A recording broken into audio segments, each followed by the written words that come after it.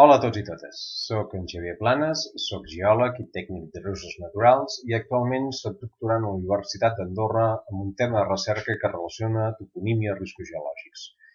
I doncs bé, avui, com a col·laboració dins d'aquest cicle de càpsules d'història en temps de confinament, us parlaré d'una faceta immaterial de la història, la que fa referència a la toponímia andorrana i a les implicacions que aquesta subdisciplina té en tant que herència de les llengües parlades en aquest. Per començar, primer faré un breu repàs als estudiosos que han tractat, podríem dir, en mètode científic, els noms de lloc andorrans amb diferent grau de profundiment. D'entrada, convé citar com a pioner el gran lingüista català Joan Coromines. Coromines va dedicar tot un capítol a la toponímia andorrana dins del seu volum 2 d'Estudis de Toponímia Catalana, a l'any 1970. A la vegada, molts dels noms andorrans van quedar igualment aplegats dins de la seva gran obra onomàstica Cataluniae. Manuel Anglada és un dels altres pioners que va tractar la toponímia andorrana. Ell ho va fer principalment dins del seu llibre Arrels d'Andorra, prehistòria d'Andorra, a través dels, dels noms de lloc, eh, llibre publicat l'any 1993. Més recentment també són destacables alguns treballs promoguts des dels comuns, com per exemple Toponímia d'Encamp, de Josep Moran i Joan Anton Ravella, de l'any 2008, Toponímia d'Ordino, de Lídia Rabassa, de tres volums eh, que publica els topònims d'aquesta parròquia, dels anys 2008, 2016 i 2019. Igualment també cal remarcar alguns treballs que a vegades sense ser exclusivament sobre toponímia també inclouen alguns apartats o facetes que refereixen doncs, a, que pleguen una sèrie de, de topònims. Em refereixo als treballs, per exemple, de Martí Salvans, Andorra Romànica, Andorra Bascònica, de l'any 2005, o de la Solana d'Andorra de l'any 2011. O bé treballs també com eh, el de l'Albert Pujal de l'any 2014, Història dels noms de casa andorrans, eh, onomàstica andorrana anterior al Concili de Trento. I, i finalment, si m'ho permeteu, eh, també mencionaré un treball més recent, l'anàlisi fisiogràfica de topònims andorrans de l'Alta Romana, una visió propera i, i, i tècnica del territori a través dels noms de lloc, editat l'any 2018, del qual vaig tenir la sort de poder ser el. Com a segon punt dins d'aquesta intervenció intentaré exposar-vos què són els topònims i alguns mètodes i exemples de com treballar amb ells per intentar extreure informació i fer-ne interpretacions del seu significat original, estudiar la seva etimologia. els topònims, o noms de lloc, són romanalles petrificades d'antigues llengües, per antigues llengües parlades en un territori. Lògicament, en alguns casos, tampoc són tan antigues, perquè també poden ser el reflex de noms fixats en la llengua que encara es parla actualment en aquest territori. Com a relíquies de temps passats, això sí, ens poden aportar dades interessantíssimes sobre aspectes històrics o fins i tot prehistòrics, sobre característiques del poblament, sobre la interacció dels humans amb el medi físic, etc. Però aquests, aquests topònims com són? Són intel·ligibles? Fixeu-vos que a Andorra, com a mínim, podem distingir dos eh, grups de topònim davant d'aquest criteri, podríem dir, de comprensió, comprensió o interpretació del seu significat original a través del català. Uns són mm, noms del tipus el tercer, el pas de la casa, el serrat, els caldes, és a dir, interpretables o entenedors mitjançant la nostra llengua actual, és a dir, transparents al català, i que, cas per cas, ens aporten la seva dosi d'informació. El tercer, ha tercers o terceres. O sigui, ens està informant d'això, ens està recordant aquesta evidència, aquest fet.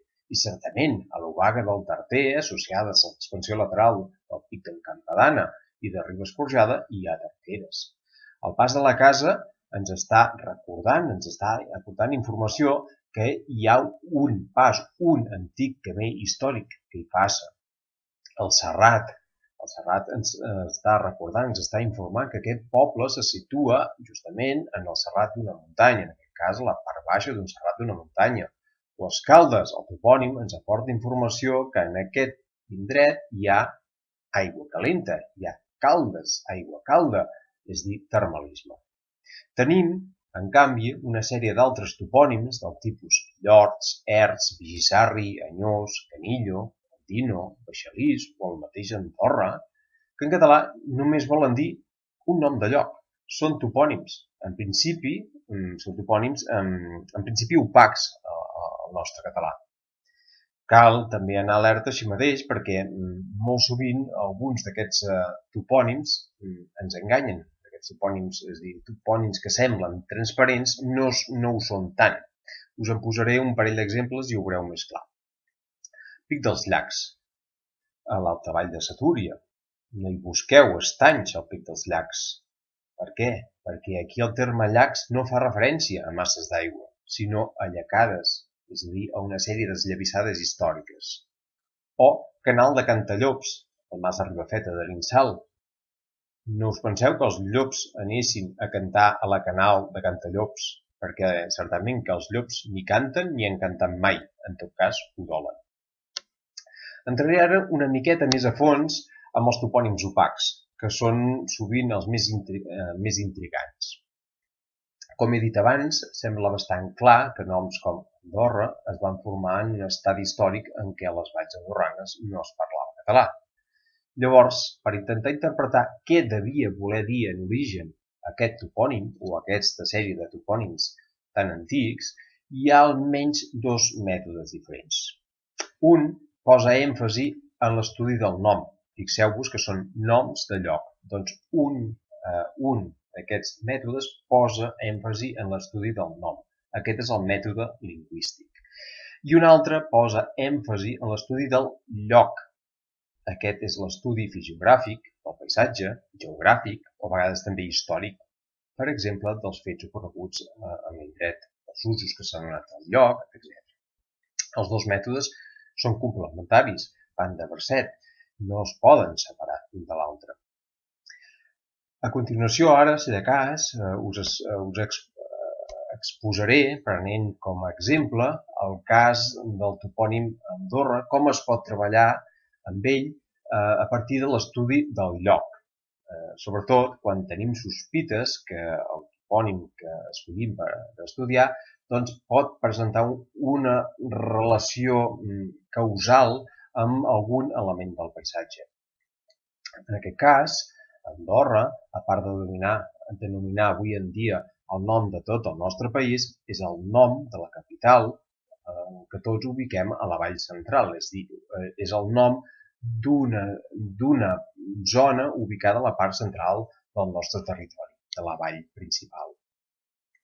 En aquest cas, doncs, si sospitem que el nom d'Andorra pot tenir alguna relació amb algun element paisatgístic de l'entorn on es localitza, hem de pensar quin pot ser, hem de rumiar què hi ha, eh, què, què, què podria haver donat nom a aquell lloc.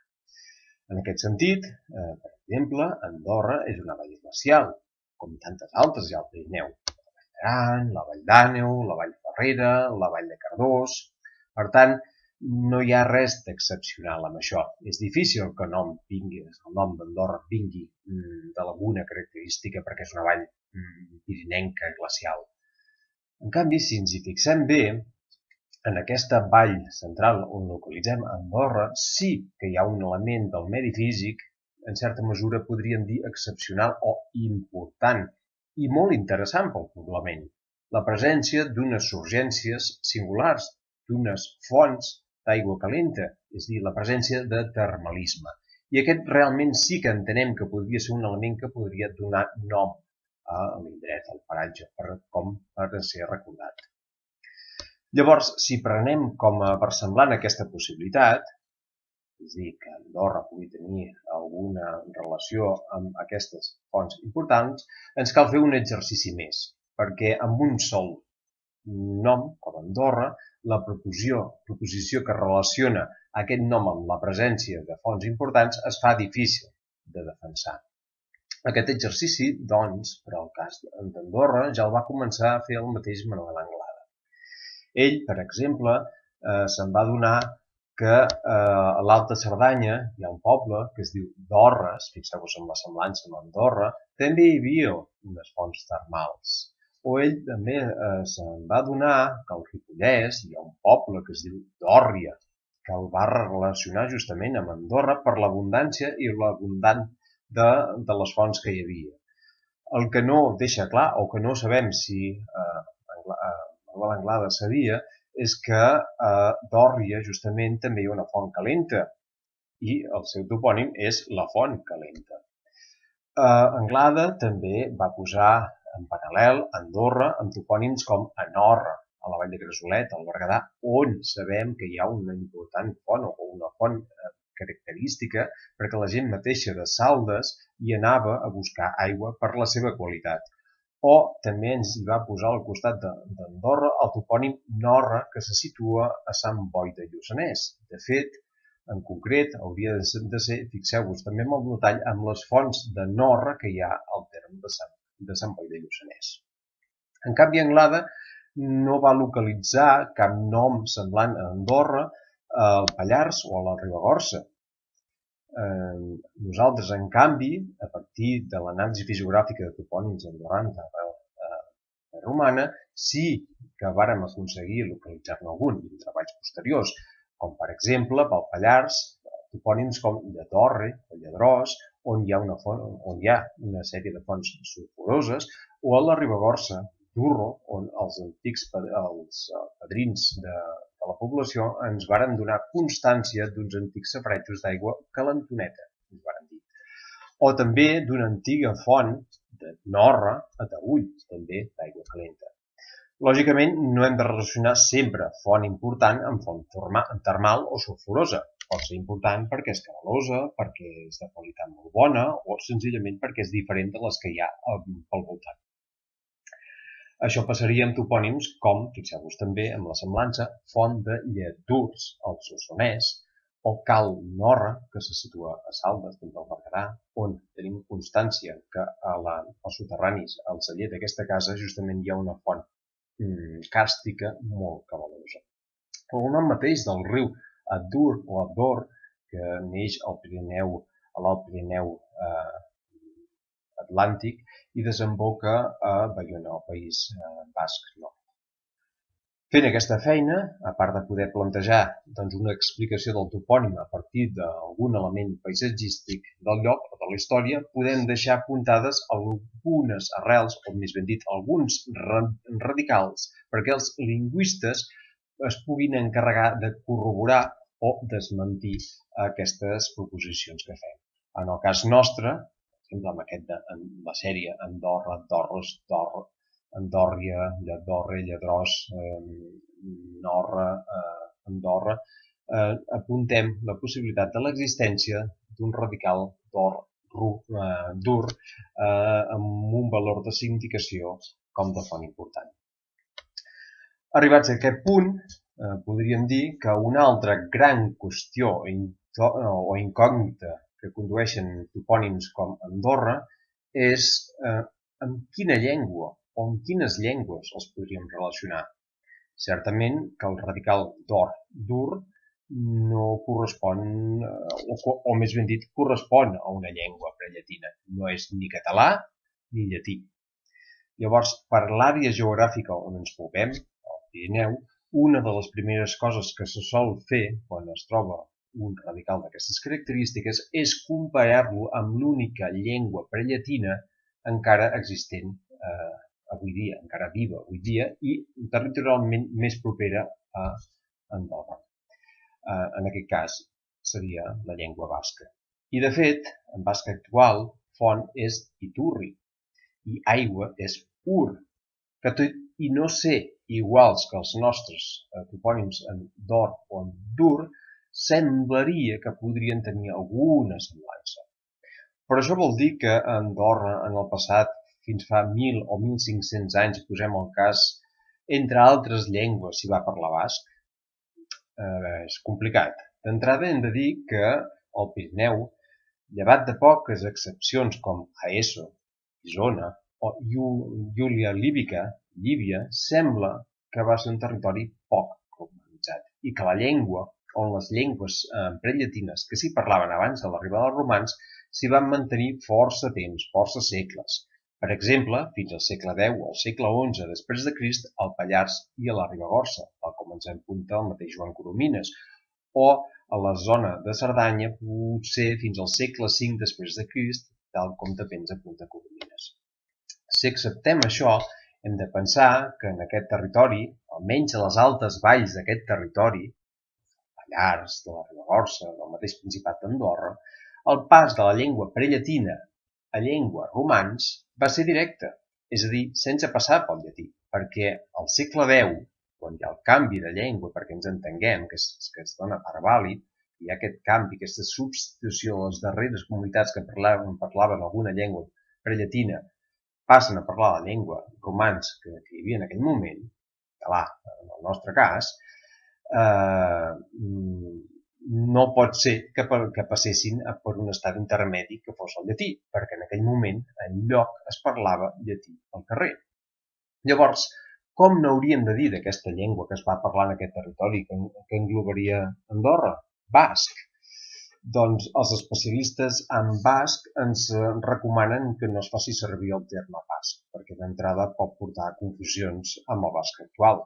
I és evident que els nostres topònims no són bascos actuals. Tot i això, cal reconèixer un cert aspecte euskèric, podríem dir, en molts d'aquests topònims. Avui dia, doncs, hi ha un debat profund en com s'ha d'anomenar aquesta llengua, o si més no, els últims anys hi ha hagut un debat profund en quina hauria de ser la denominació d'aquesta llengua o d'aquestes llengües, perquè tampoc està clar que fos una sola llengua.